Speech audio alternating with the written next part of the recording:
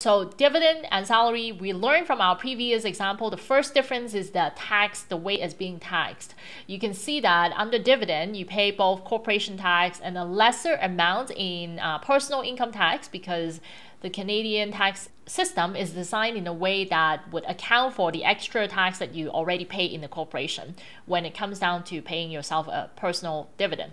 The salary that you don't pay any income tax on salary side.